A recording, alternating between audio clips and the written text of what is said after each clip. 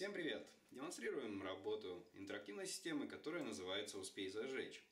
Система состоит из контроллера, датчиков света и соответствующих им светодиодных ламп. Подключим питание. Началась игра.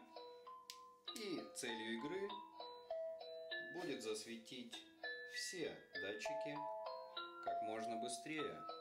Потому что, как вы видите, если мы замешкаемся, первые датчики уже начинают гаснуть.